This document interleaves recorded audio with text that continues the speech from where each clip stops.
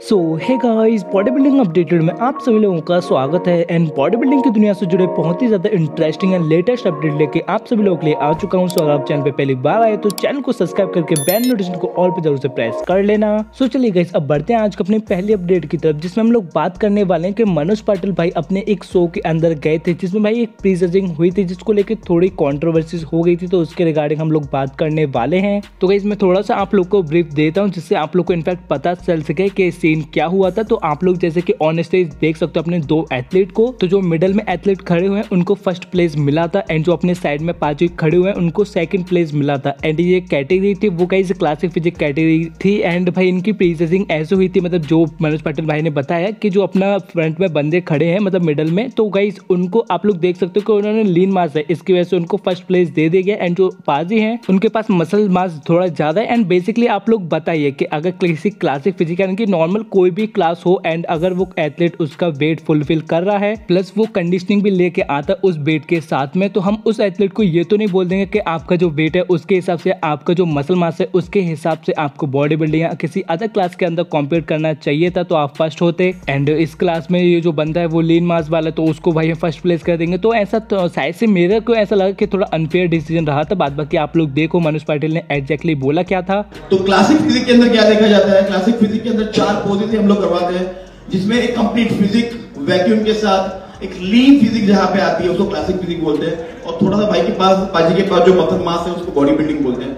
तो classic physique category की वजह से हमने इनको सेकंड और इनको फ़र्स्ट प्लेस दिया है बिकॉज़ क्लासिक फिजिक के हिसाब से जजिंग हुई है। अगर बॉडी बिल्डिंग होती डेफिनेटली पाजी first thank you so much cheers बाकी आप लोग के जो भी थॉट्स एंड ओपिनियंस हो, आप लोग डेफिनेटली मुझे कमेंट करके बता सकते हो। एंड बढ़ते हैं आज को अपनी नेक्स्ट अपडेट की तरफ़, जिसमें हम लोग बात करने वाले हैं अपने एक न्यू एथलीट के बारे में। यानी कि इस चैनल पे उनको मैं पहली बार इंट्रोड्यूस करा रहा हूँ। तो गाइज़ इनका नेम है राहुल आर एस एंड आप लोग कंडीशनिंग देखो गाइज़ कितनी एस्थेटिक कंडीशनिंग ये शो कर रहे हैं। एंड वेल शेप्ड कंडीशनिंग अभी आप लोग को उनकी देखने को मिलेगी। एंड काफ़ी अच्छी भाई कंडीशनिंग में अभी हम लोग को नज़र आ रहे हैं। बाकी भाई, आप लोग उनकी अपर बॉडी देखो, उनकी लोअर बॉडी देखो एंड अगर उनकी बैक का भी हम लोग को कंडीशनिंग मिल जाती तो काफ़ी ज़्यादा मज़ा आ जाता बट आप लोग उनकी फ्रंट बॉडी की कंडीशनिंग देख सकते हो बट उनके रिगार्डिंग अभी और कोई इन्फॉर्मेशन तो नहीं है एंड जैसे कोई इन फ्यूचर अपडेट्स या फिर इन्फो आती है उनकी साइड से तो डेफिनेटली आप लोग को मैं उनका अपडेट्स दे दूँगा। सो चलिए गई अब बढ़ते हैं आज को अपनी नेक्स्ट अपडेट की तरफ़, जिसमें हम लोग बात करने वाले हैं अपने भुवन चौहान भाई के बारे में। तो क्या भुवन चौहान भाई हम लोग को क्लासिक फिजिक डिवीज़न में कॉम्पीट करते नज़र आ सकते हैं। जी हाँ गाइज़ क्योंकि रिसेंट में अपने भुवन चौहान भाई ने अपनी लेग की जो प्रेजेंट टाइम की कंडीशनिंग है, उसको कहीं शेयर किया था जैसे कि अभी आप लोग देख ही सकते हो।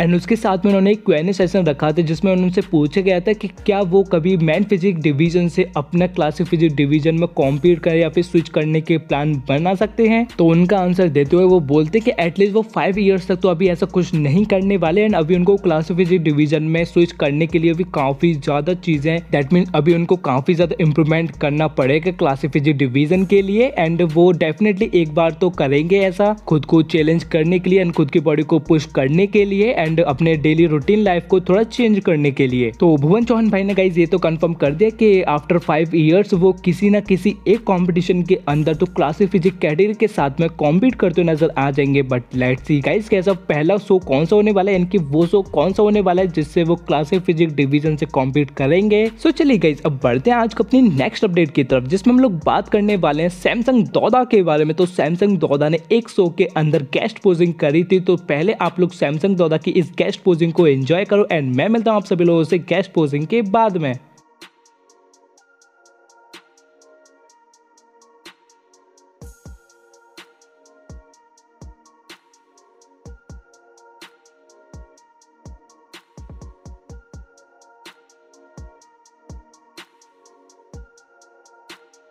तो चलिए गई अब बढ़ते हैं आज अपनी नेक्स्ट अपडेट की तरफ़, जिसमें हम लोग बात करने वाले हैं कॉरी मॉरिस के बारे में। तो आई थिंक सो इन्होंने जो शो कॉम्पीट किया था, उसका नेम था Memphis body building pro show and guys इन्होंने मैन फिजिक डिवीज़न से कॉम्पीट किया था। एंड आप लोग उनकी ऑन स्टेज जो वो कंडीशनिंग लेके आए थे, उसको तो गाइज़ अभी आप लोग देख सकते हो, काफ़ी एस्थेटिक्स फिजिक्स के साथ में वो आए थे, जैसे कि अभी आप लोग देख ही सकते हो। बट इस कॉम्पिटिशन के अंदर अपने एमानुअल हंटर भी थे, जो कि इसी सेम कैटेगरी से कॉम्पीट कर रहे हैं। एंड भाई, उन्होंने इन्होंने बाजी मार लिया एंड उन्होंने अचीव कर लिया है। ओलंपिया 2023 का invitation so many many congratulation to him बाकी तो बढ़ते हैं आज अपने नेक्स्ट अपडेट की तरफ़, जिसमें हम लोग बात करने वाले हैं मोहरो फिहालो के बारे में। तो इन्होंने भी गाइज़ एक प्रो शो के अंदर कॉम्पीट किया था एंड उस प्रो शो के अंदर ये मैन फिजिक डिवीज़न से कॉम्पीट करते हैं, जिसके वो विनर भी रहते हैं। एंड उसके साथ साथ गाइज़ उन्होंने ओलंपिया का जो इन्विटेशन है 2023 के लिए, वो भी अचीव कर लिया। So many many congratulation to मोर फिहालो। बाकी तो गाइज़ आज को में सिर्फ़ इतने अपडेट्स थे। अपडेट्स काफ़ी ज़्यादा कम आ रहे तो, तो भाई मैंने एक छोटी सी वीडियो बना दी। बाकी आप लोग को ये वीडियो कैसे लगी डेफिनेटली कमेंट सेक्शन के अंदर आप लोग मुझे बता सकते हो। एंड मैं मिलता हूँ इस वीडियो के साथ में तब तक के लिए